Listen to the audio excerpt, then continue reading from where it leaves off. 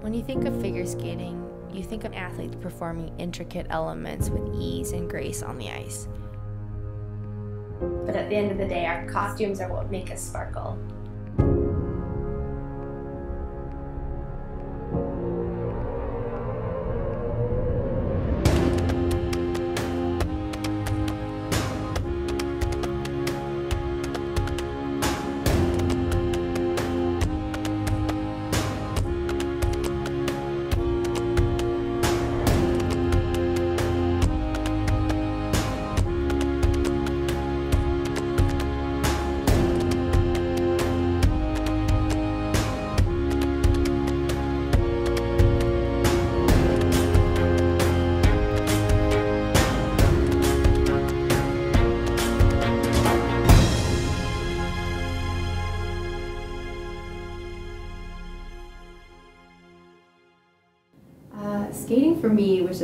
Love at first glide. I mean, I watched my brother do it over and over and over again, and my mom just saw us so mesmerized by what they were doing. And, you know, if, that's even possible, you can fall in love with something so fast and so early, but for us, that's what it was. And we never wanted to stop. Like, anybody put music on, we just wanted to move. So it was a crazy, crazy thing to start at two and a half, but it's paid off so far.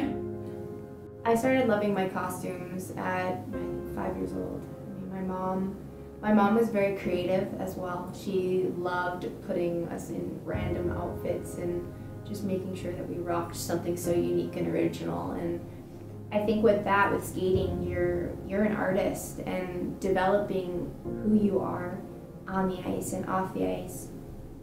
It creates magic when you can bring both of those two things together and I've always had such so much input in my costumes and when I was 18 years old I quit skating and I happened to meet some fashion students in LA and when I got to know them and learn the process behind the fashion industry it really sparked my interest in being able to create something bigger than yourselves and to be able to interact with the crowd and you know, it's just a joy that I love and it's it's my personality it's me. And i feel like that's something that i've been destined to do. When it comes to designing my costumes everything is done by me. I mean i do the research. I mean i have to kind of bring in all of my stuff and show my coach and be like look is this kind of what you like or is this what you you are envisioning in the program? And she'll give me feedback. But everything is usually done by me and i I don't know, I feel like a sense of accomplishment every time a costume is done and I'm just so excited for people to see like my new work every year. So fast forward to now, we are in a position to possibly go to the Olympic Games in 2018. So with that, we need to make sure that everything is perfect and that includes our costumes. This year our free dance is called Saudade. It's interesting modern piece and once we figured out what we wanted to do with the program i contacted my uh, costume designer Susi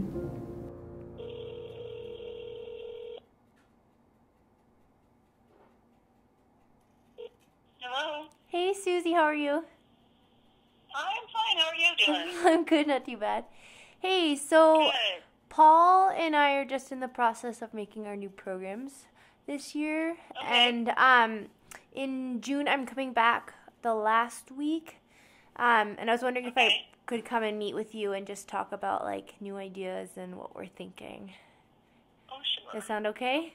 And I think Paul and I are coming back in the last week of August, so we can do all like the final fittings and um, Okay, so he's not coming with you in June, right? no, just me, Okay. just Okay. me. Is that okay? All right, we can make it work. Yeah. Yeah. Absolutely. Yay! So, what are you what are you thinking for this year?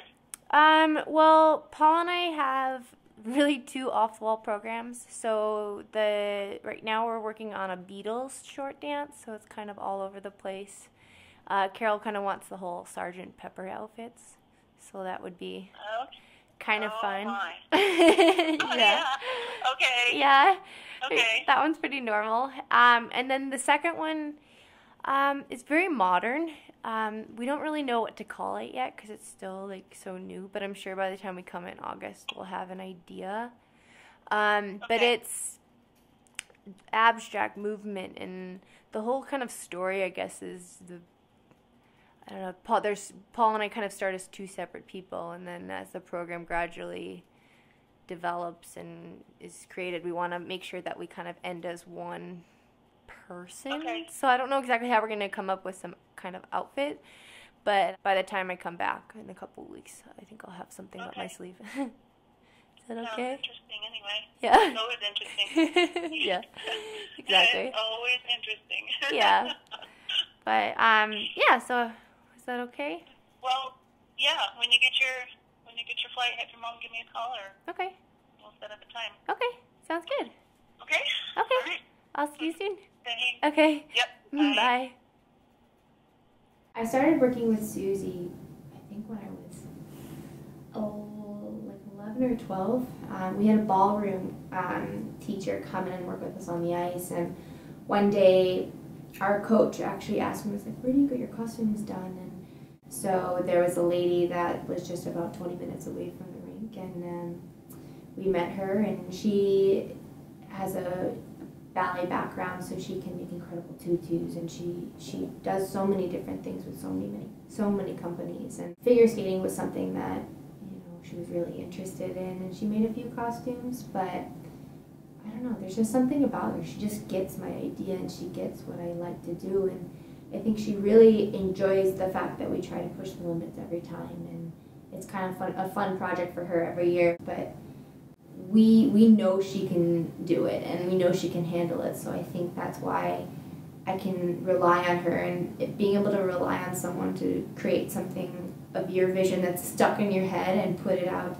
into in fabric and i think is so special and i, I love her to death Comfort is a huge factor in skating. Um, I mean, if you have to wear something that's you're afraid it's too low, you know, the straps you keep adjusting them, you can't. I mean, you can't possibly skate um, focused on the skating. You're worried about your costume fitting. So I think it's very important that you find a like a costume designer that can make something that you know, you know, the clasp isn't going to open or the straps are nice and fitted. Um, you know, it's got elastic in there. It's not going to like, expose you in any way, so you feel comfortable. when we started working with Susi, we found that there were a lot more people who were interested in what she can do. And, you know, I think she's getting a lot more recognition from all the things that she has done because she's got international athletes showing her products and her costumes. So we really hope that what we have created together can really continue to make her business grow. much like fashion in general, I think you uh, sometimes pay for a name. That's that's true, but you are always getting a good quality when you you know you hire someone who's reputable to do your costuming. Um, I, would personally probably rather spend a little bit more knowing that I'm going to have a good quality costume because this is something that you're going to be wearing upwards of fifty times a year. So I think it's a it's a really important part of the performance, and and it's usually good to invest in that. in lots of ways you, you get what you pay for in terms of a good quality in terms of a rich fabric a clever design i think that's the most important thing really the dollars to me it's immaterial i mean you can get a simple beautiful dress in crushed velvet with uh, you know some rhinestones or swarovskis or whatever on it but if it's cut well it speaks volumes When I'm doing research for my costumes, you can find inspiration anywhere. You can find it in society, you can find it in the trends on the runway, and you can find things in history. I think if you sit there and really start to draw in influences from all these different people and places and things, um, you can really create something so much more special. There's so much life and beauty in everything, so if you just take a look around you, you can explore so many options.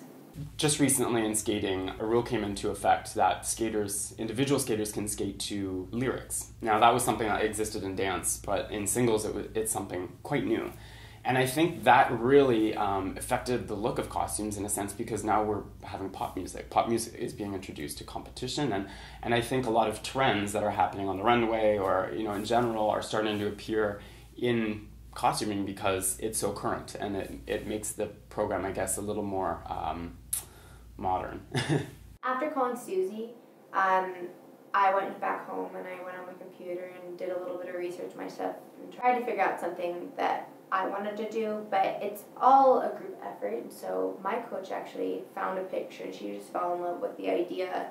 And um, she sent it over to me. And you know when you find something that like the costume it was just so unique and bizarre and and you're like how am I going to figure this out on the ice? And from there we sent the picture over to Susi and she got an idea for it. And you know she uh, sketched the costume on a body she did that I went home uh, she had a prototype leotard already for me and uh, she got her blue little marker kind of drew things on me just so she can kind of figure out where things should sit. And once she gets that, she goes and makes the first draft, and um, she'll put a skirt on it.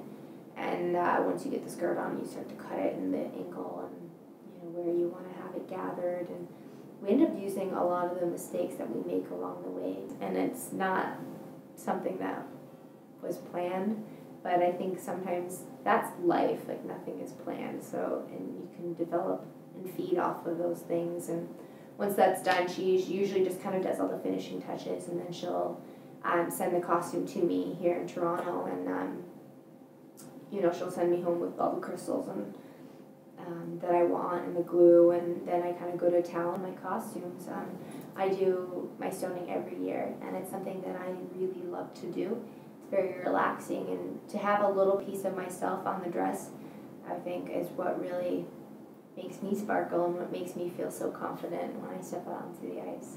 Personally um, in terms of the costume itself was always very sensitive to the weight of it. I, I found that if the costume was too heavy it would affect my jumps uh, another factor would be does it stretch? Um, a lot of designers don't like to use stretch fabrics because they're a pain in the butt to work with. However, a stretch fabric is kind of crucial in figure skating because of flexibility and all the movements that we do. So I usually find that if I'm not using a stretch fabric, then it has to fit perfectly.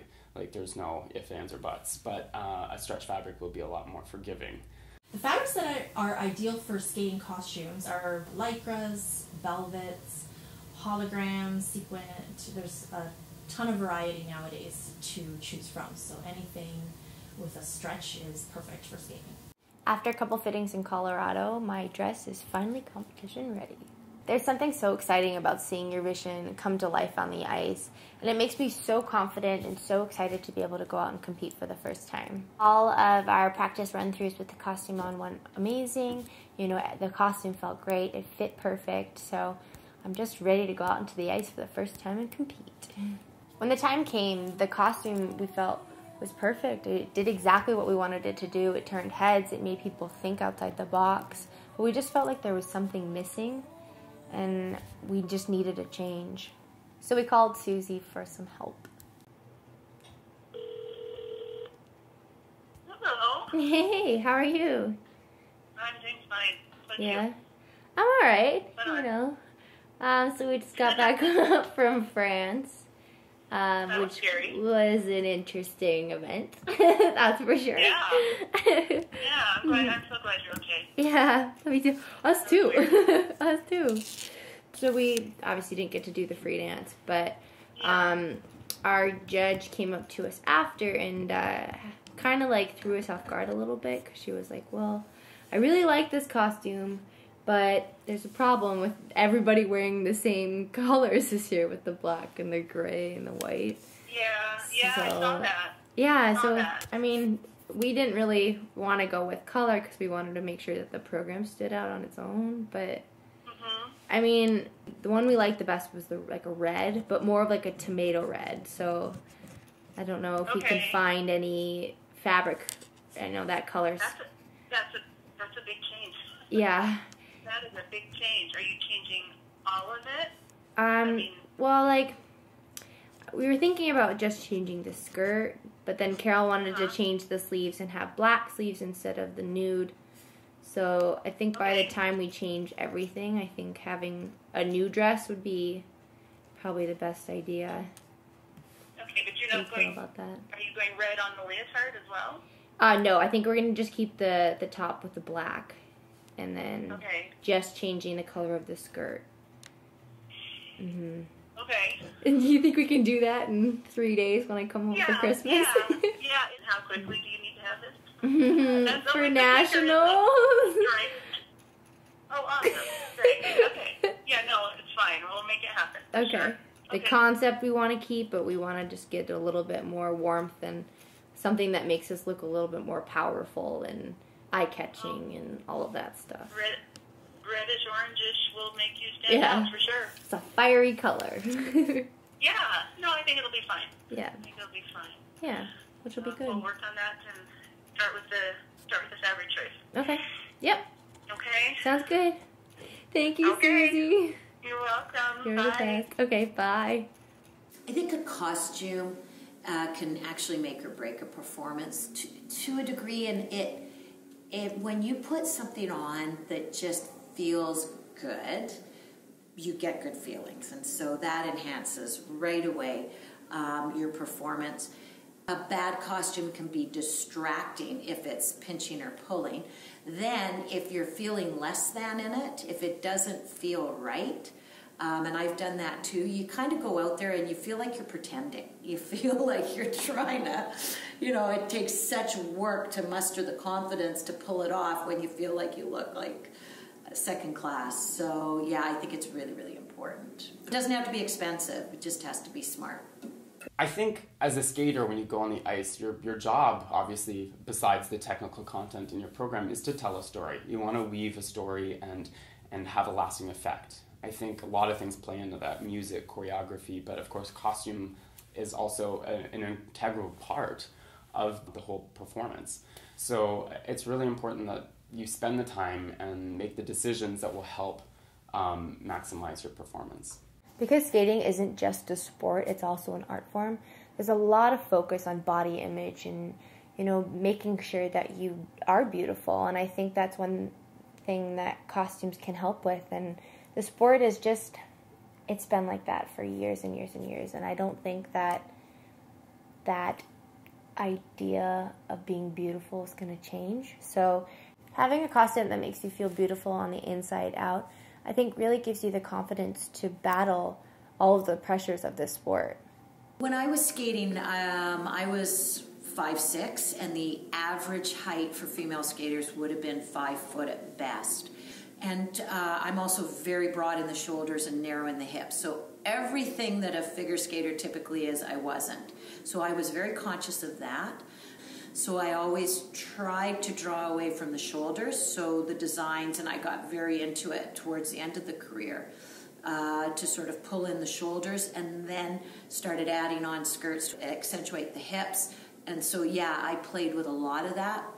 But I was very lucky in terms of weight.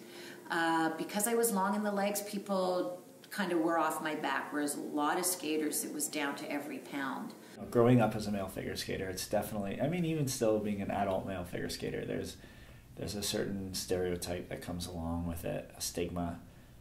Growing up was a little hard to kind of not know how to um, convey why I was doing it, uh, be able to stand up for what I was doing as well, and um, you know, I always liked it. I've I've always liked costumes. I mean, I, I wore a Batman outfit probably six days a week when I was a kid uh, hop over fences wearing a Superman cape. I've always been like that.